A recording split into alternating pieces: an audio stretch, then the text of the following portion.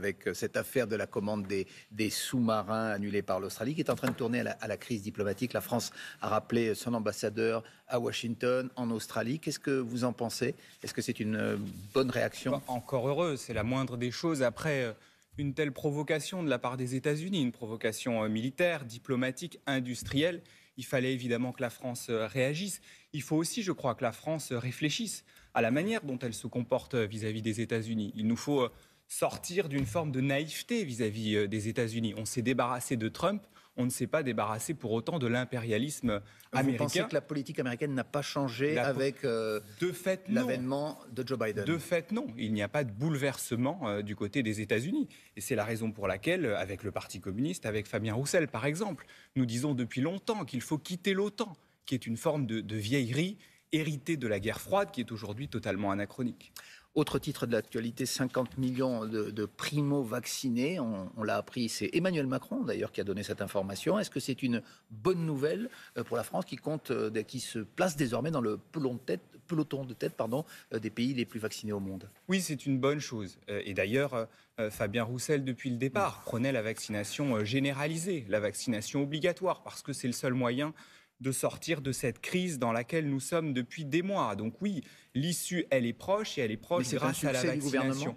qui a instauré notamment le pass sanitaire contre lequel vous vous êtes prononcé. C'est un succès pour les Français, parce que ce sont hmm. les Français qui se sont fait vacciner. Je note simplement qu'il reste quand même encore des Français, notamment euh, dans des territoires ruraux, dans des quartiers populaires, euh, dans nos villes, qui ne sont pas encore vaccinés. Et donc il y a des efforts qui doivent se poursuivre. Euh, mais en tout cas, pour ce qui nous concerne, nous sommes, et nous en sommes fiers, des partisans de la vaccination. Mais est-ce que pour autant, vous êtes toujours, Fabien Roussel l'était, votre parti l'était, opposé à l'instauration du pass sanitaire, contre lequel d'ailleurs euh, des manifestants vont se rassembler une fois de plus aujourd'hui? Parce que nous considérons qu'il aurait été effectivement plus juste d'aller vers une vaccination obligatoire.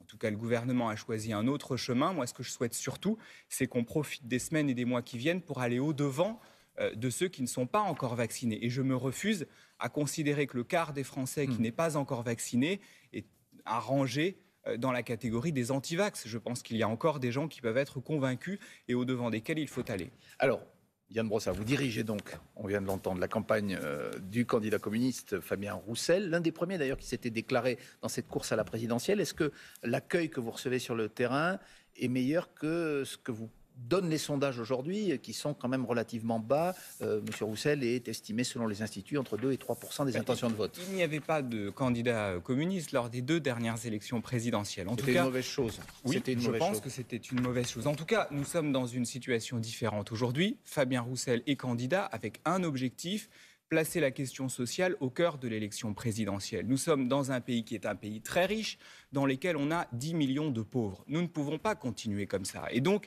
le rôle de Fabien Roussel, c'est de remettre cette question-là au cœur du débat politique et de proposer des solutions concrètes pour qu'on puisse vivre dignement de son travail dans notre pays. Mais quel est le candidat de gauche qui ne place pas la question sociale au cœur de ses bah, propositions? ça, aux électeurs d'en Vous avez Jean-Luc Mélenchon, Anne Hidalgo, euh, Arnaud Montebourg, à partir de demain soir, un candidat écologiste.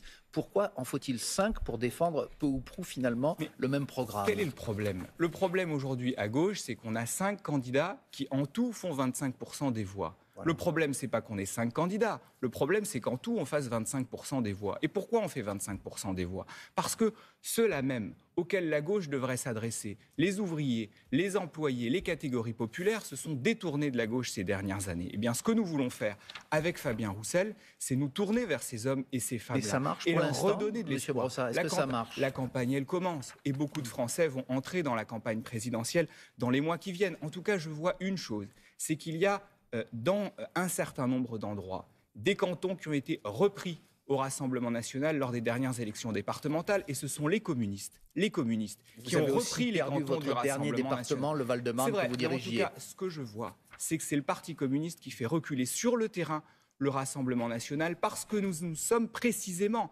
adressé à ces hommes et à ces femmes qui en ont ras-le-bol des délocalisations, ras-le-bol de la désindustrialisation de notre pays. Et c'est ça que nous voulons faire à l'échelle nationale avec Fabien Roussel. Yann Brossa, euh, l'adage selon lequel l'union fait la force, ça n'a plus de sens aujourd'hui. Est-ce que vous ne seriez pas plus fort, plus puissant derrière un seul candidat, par exemple, dans votre camp, euh, Jean-Luc Mélenchon, dont les lieutenants vous lancent sans arrêt des appels du pied. Alexis Corbière vous a encore demandé, récemment encore demandé à Fabien Roussel de rejoindre euh, le, le sillage, si j'ose dire, de Jean-Luc Mélenchon. Est-ce que ce ne serait pas comme vous l'avez fait en 2012 plus et 2017, pardon, plus puissant d'être euh, derrière un seul homme. Nous l'avons soutenu à deux reprises. Il n'a pas gagné l'élection présidentielle. Et, et, je pense que les Français ne veulent pas que les élections présidentielles soient systématiquement le remake de la précédente. Je pense qu'on a aussi besoin de neuf. Et Fabien Roussel, c'est précisément euh, cette offre qu'il propose. Et vous pensez que le neuf, pour les électeurs français, ça peut encore en 2022 être un candidat du Parti communiste Absolument, précisément parce que euh, Fabien Roussel, euh, c'est quelqu'un qui connaît bien la France, qui mm. connaît bien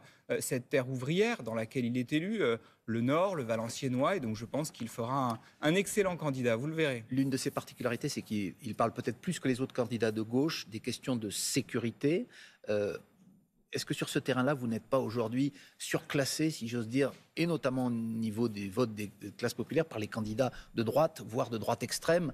Lorsque vous voyez qu'Éric Zemmour, qui n'est même pas encore candidat, rassemble 10% des intentions de vote, soit cinq fois plus presque que votre candidat. Qu'est-ce que ça vous inspire? Moi, ce que je pense, c'est que quand on est de gauche, on doit parler des questions de sécurité. Moi, je suis élu d'un arrondissement euh, populaire de Paris, le 18e, dans lequel nous souffrons du recul euh, de l'État. Et donc, oui, il faut s'emparer de ces questions-là. Et Fabien Roussel a raison de le faire. C'est pas parce qu'on est de les gauche, électeurs, ils se tournent vers Marine Le Pen, peut-être demain vers Éric Zemmour, Nicolas Dupont-Aignan. Vous me parlez d'Éric Zemmour.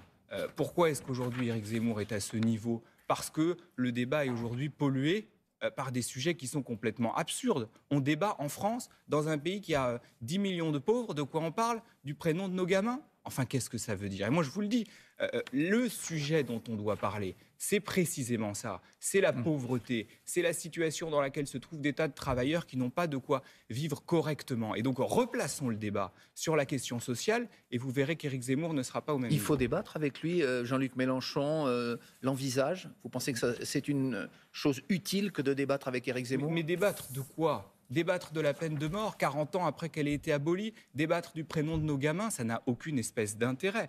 Non, débattre de la place de l'immigration en France Je ne pense pas qu'on ait un intérêt quelconque à débattre avec euh, Éric Zemmour. Moi, ce que je souhaite, c'est que nous puissions partager nos propositions avec les Français sur les vrais sujets, les salaires, les délocalisations, tous ces sujets dont Éric Zemmour ne parle jamais. Qui est capable de dire aujourd'hui si Éric Zemmour est favorable à l'augmentation du SMIC?